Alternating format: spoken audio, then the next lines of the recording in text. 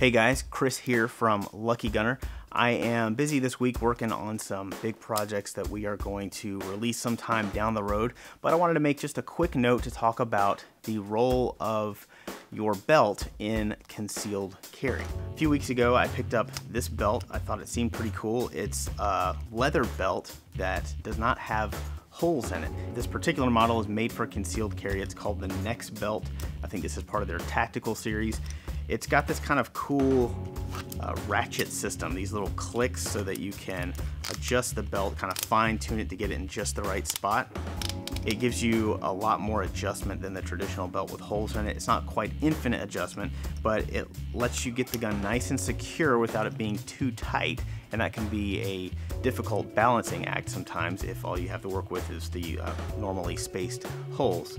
But I can tell you, just after carrying this thing for two days or so, it's not going to work for me, at least not for the guns that I would like to carry with it. The reason is it's just not quite rigid enough. I typically wear a nylon belt from Wilderness Tactical. It's got some extra rows of stitching in it, makes it nice and rigid so that it can support just about any gun that I want to carry. The only problem is it looks like a tactical belt. So if I'm wearing a tuckable holster or my belt is otherwise going to be exposed, I would rather have uh, something like a leather belt that's going to be a little less conspicuous. But with this belt, what happens is the, the belt kind of flexes like that when I'm wearing it. It pushes the muzzle into my body, the grip kind of falls away from my body, which is the opposite of what I want for both concealment and comfort.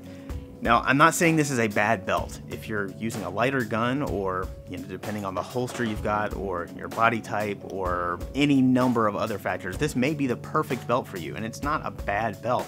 It's just not gonna work for me for the, the guns that I wanna carry. So the point is, the belt itself is a really critical component of your overall concealed carry setup.